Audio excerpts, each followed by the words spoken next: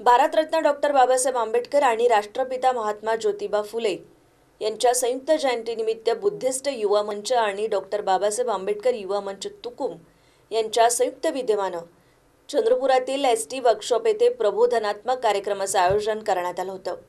यावेळी प्रमुख मार्गदर्शक म्हणून धम्मचारी मंजू कीर्ती तर अध्यक्ष म्हणून डॉक्टर प्रवीण डोंगरे उद्घाटक म्हणून डॉक्टर अभिलाषा गावतुरे यांची प्रमुख उपस्थिती होती.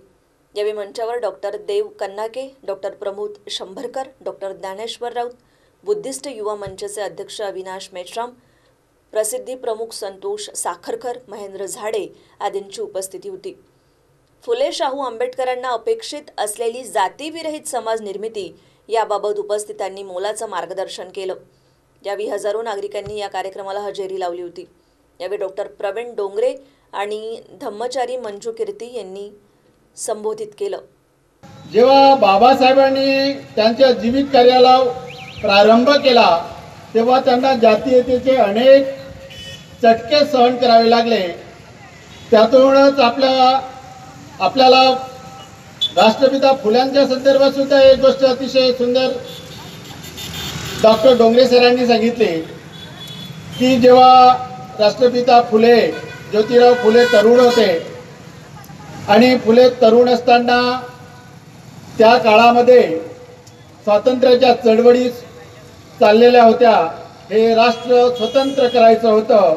आणि हे राष्ट्र स्वतंत्र करायचं असताना अगदी तरुण वयामध्ये त्यांनी जेव्हा जातीयतेचा चटका अनुभवला आणि माळी असल्यामुळे ब्राह्मण समाजाच्या लग्नामध्ये त्यांना अपमानित करून बाहेर घालवल्या गेलं तेव्हा त्यांना खऱ्या अर्थाने समजलं की या देशाच्या या देशामधून या जातीतेचं उच्चाटन केल्याशिवाय सामान्य जणांना बहुजनांना त्यापासून खऱ्या अर्थाने मुक्ती मिळणार नाही.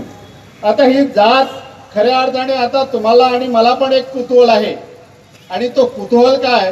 की ही जात म्हणजे नेमकी निर्मूलन कशी करायची? कारण बरेचदा अनेक वक्त्यांकडून तुम्ही हे ऐकलेलं असेल की काय?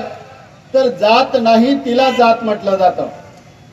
आणि खरे तर जाती निर्मूलनाचा किंवा जात विरहित समाजाच्या संदर्भामध्ये मी जेव्हा काही गोष्टींचा अभ्यास करत होतो तेव्हा मला अतिशय कुतूहल वाटलं की अनेक प्रयत्न करून अनेक प्रयत्नांची पराकाष्ठा करूनही ही जात या देशातून जात नाही आहे जी व्यवस्था आहे ती कुणी आणि कशी निर्माण केली याच्याबद्दल त्यांनी अखंडांमध्ये जसं अभंग लिहितात बाबासाहेबांनी खूप सारे ग्रंथ लिहिले महात्मा फुल्यांनी अखंड लिहिले काही ग्रंथही लिहिले. त्याच्यामध्ये त्यांनी त्याचं विवेचन केलेलं आहे. त्यांनी म्हटलं आहे की इराणी भटजी बडीस्थानी आले. त्यांनी भारताना बळीराज्याचं बडीस्थान असं शब्द प्रयोग केलेला आहे. क्षत्रिय जिंकले द्रव्य लोभ. वेदामध्ये आहे त्याचा माग मुद्दा. शिपायाचा धंदा अर्थे केला. जिंकाया मानवा स्पर्शीबंदी केली.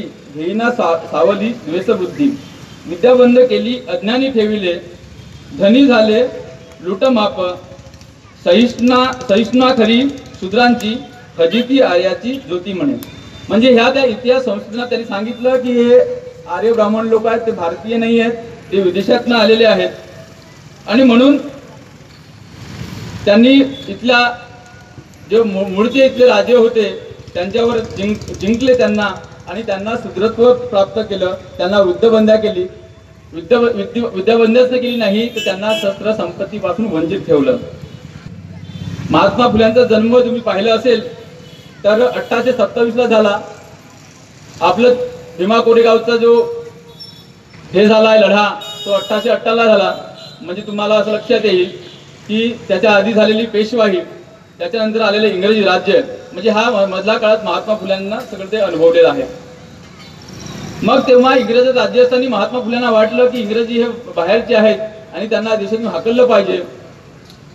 त्यांनी उस्तादांकडे आपली बॉडी बिल्डिंग करण्यासाठी व्यायामशाळेत जायला लागले. परंतु त्याच दरम्यान काय झालं की एका मित्राच्या लग्नामध्ये त्यांना जायचा प्रसंग आला आणि तिथे हे माडी जातीचे आहेत आणि ते लग्न ब्राह्मणाचं होतं म्हणून त्यांचा अपमान करण्यात आला. आणि तेव्हा महात्मा फुल्यांना समजलं की या देशाची खरी समस्या इंग्रजी नाही आहेत ते ह्या देशाची खरी समस्या आहे. ब्राह्मणांनी निर्माण केलेली वर्णव्यवस्था आणि जाती व्यवस्था